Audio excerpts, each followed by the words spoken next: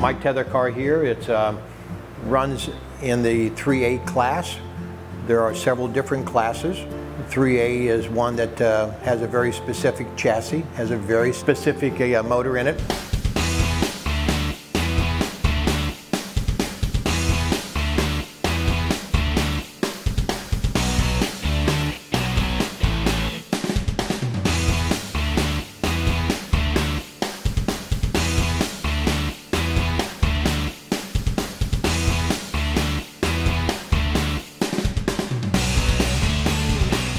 This car in the, in the 3 class, the record is 173.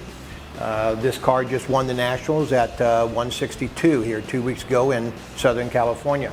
Ready, Stu?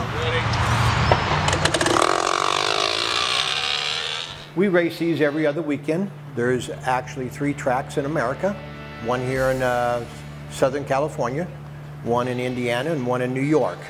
Uh, the sport really began way back in the uh, late 1930s and was really popular in the 50s and the 60s.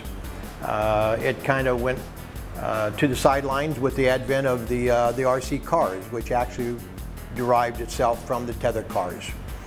So there is a uh, very select group, it's called the AMRCA, American Miniature Race Car Association.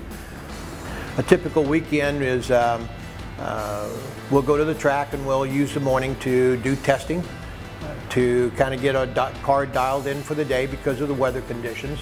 These little motors are very sensitive to uh, temperature, humidity, air density, and so those corrections have to be made uh, each and every day and, and throughout the day.